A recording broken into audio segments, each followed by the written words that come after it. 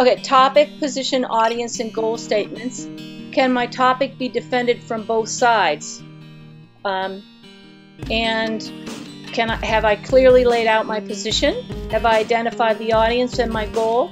Is my goal written as one clear and concise sentence?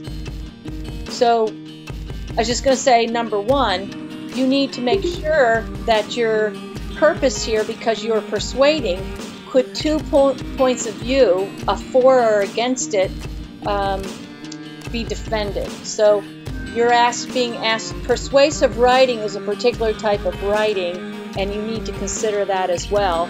And that has also to do with how you lay out your position and your audience and your goal. Um, so those are going to be important things that you'll be learning in chapters 1, 2, and 3 key supporting points. We, we, talked about that earlier. It's as you're doing your research and you find out what are the reasons why you're feeling a certain way about a position and you, you're backing yourself up. You need to make sure that these points make sense and they follow a logical order and they support your goal and um, whether you have related each one of those points to your audience.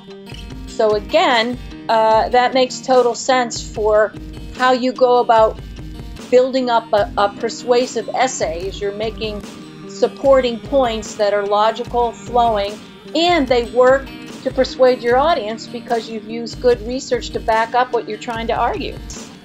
So again, uh, that makes total sense for how you go about building up a, a persuasive essay is you're making supporting points that are logical, flowing, and they work to persuade your audience because you've used good research to back up what you're trying to argue.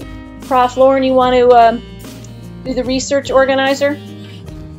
Absolutely, right? And over here, we're looking to see how complete your research is.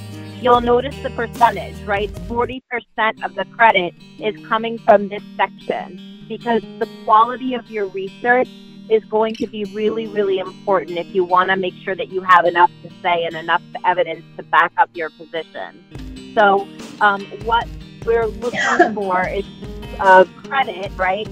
Is your do you have six sources, right? Um, so you have the APA information for six different sources. Do you have your paragraph telling us what three, your best three, are um, about, right? And why they support your thesis or your position, right? are those sources actually related to your argument, right? Are, are they, um, you know, sources that really will support what you say? And are they credible? Um, meaning that were they written by experts um, who's, um, you know, are ethical, who are well researched, who are experts in the subject? Um, and we'll talk more about that in week three. So don't worry if you don't know what all of that stuff is right now.